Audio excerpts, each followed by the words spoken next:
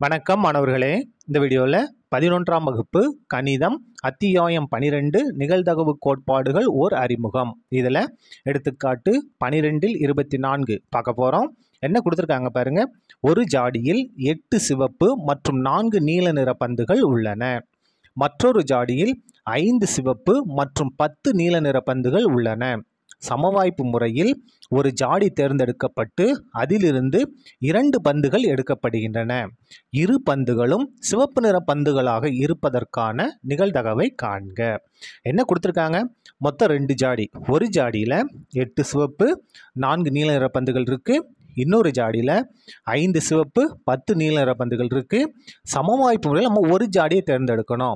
அதிலிருந்து ரெண்டு பந்து எடுக்கிறோம். அந்த ரெண்டு பந்தும் சிவப்பு பந்தாக இருப்பதற்கு என்ன நிகழ்தகவுன்னு நம்ம கண்டுபிடிக்கணும். சரியா?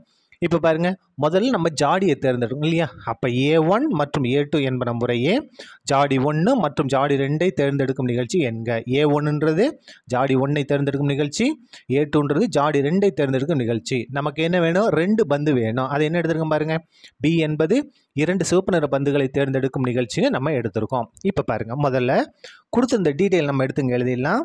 ஜாடி இல்லையா? ஜாடி ஒன்று இந்த இடத்துல ஜாடி ரெண்டு. என்னென்ன பந்து? சிவப்பு நிறப்பந்து நீல நிற பந்து.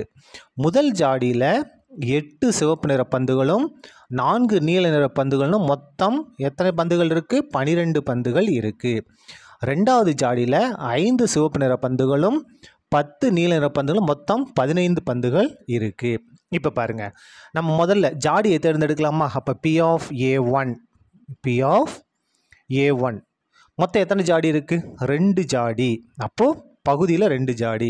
ரெண்டுலேருந்து நம்ம ஒன்றை செலக்ட் பண்ணுறோம் அப்போ ஒன்று பை ரெண்டு. அப்போது முதல் ஜாடியை தேர்ந்தெடுப்பதற்கு என்ன நிகழ்தகவு? P of A one equal to ஒன்று பை ரெண்டு. இப்போது இந்த இதிலிருந்து தான் நம்ம எதை தேர்ந்தெடுக்கணும்? சிவப்பு நிற பந்தை தேர்ந்தெடுக்கணும். சிவப்பு நிற பந்தை தேர்ந்தெடுக்கும் நிகழ்ச்சி நம்ம என்ன எடுத்திருக்கோம்? பின்னு எடுத்திருக்கோம். அப்போது தான் நிகழ்தகவு. பி ஆஃப் பி சிவப்பு பந்தை தேர்ந்தெடுக்கும் நிகழ்ச்சியின் நிகழ்தகவு. எந்த ஜாடியிலிருந்து? ஏ ஒன் முதல் ஜாடியிலிருந்து. அப்போ by A one by A one equal to இப்போ பாருங்கள் நம்ம எதை தேர்ந்தெடுக்கிறோம்? சிவப்பு நிற பந்து. எந்த ஜாடி? முதல் ஜாடி. பாருங்கள் முதல் ஜாடியில் சிவப்பு நிற பந்து எட்டு இருக்குது நமக்கு எத்தனை வேணும்? ரெண்டு தான் வேணும். அப்போ எட்டு சி ரெண்டு. பை மொத்த பந்துகள். எதில்? முதல் ஜாடி ஏ ஒன் ஏ ஒனில் மொத்தம் எத்தனை பந்து? பனிரெண்டு. இந்த பனிரெண்டுலேருந்து நம்ம எத்தனை தான் எடுப்போம்? ரெண்டு தான் எடுப்போம். பன்னெண்டு சி ரெண்டு. இதை நீங்கள் மட்டும் நீங்கள் கரெக்டாக எழுதிட்டா போதும். இப்போ பாருங்கள் ஈக்குவல் டு எட்டு சி ரெண்டுனா எட்டில் ஆரம்பித்து இரண்டு இலக்கங்கள் இறங்கு வரிசையில். பன்னெண்டு சி ரெண்டுனா பனிரெண்டில் ஆரம்பித்து இரண்டு இலக்கங்கள் இறங்கு வரிசையில். கேன்சல் பண்ணுவோமா? நாலாவது வாய்ப்பாடு. என்ன பாருங்கள் இருநாங்க எட்டு முன்னாங்க பன்னெண்டு. இங்கே என்ன இருக்குது ரெண்டு ஏழு. ஈரேழா பதினான்கு பை இங்கே மூணு பதினொன்று மூணையும் பதினொன்றையும் பெருக்குன்னா முப்பத்தி மூணு இதான் என்னது? P of B by A one இப்போ பாருங்கள் அதுக்கு அடுத்தது ரெண்டாவது ஜாடியை தேர்ந்தெடுக்கும் நிகழ்ச்சியின் நிகழ்வு ரெண்டாவது ஜாடி வந்து ஏ டூ மொத்தம் எத்தனை ஜாடி? ரெண்டு ஜாடி. ரெண்டுலேருந்து ஒன்று மொத்தம் ரெண்டு ஜாடி தான். அப்போ முதல் ஜாடியை நம்ம தேர்ந்தெடுத்தாலும் ஒன்று பை ரெண்டு தான்.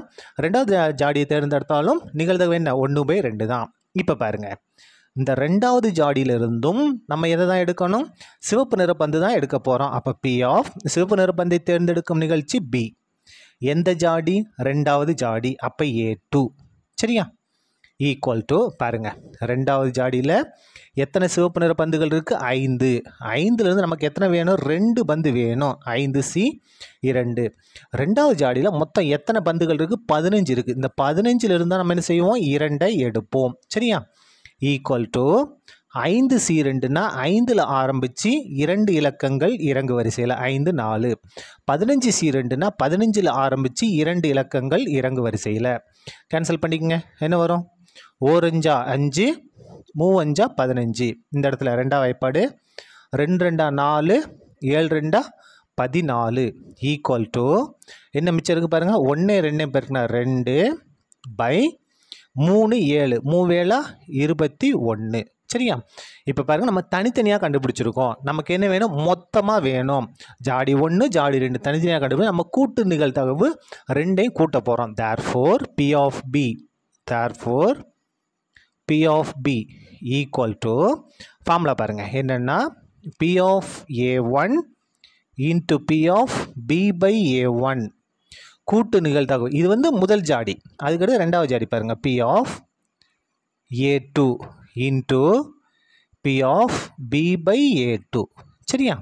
ஈக்குவல் டு இந்த மதிப்புகளை எடுத்து அப்படியே பிரதிட்டு சுருக்க வேண்டியதான் P of A one P of A ஒன்னோட மதிப்பு ஒன்று பை ரெண்டு.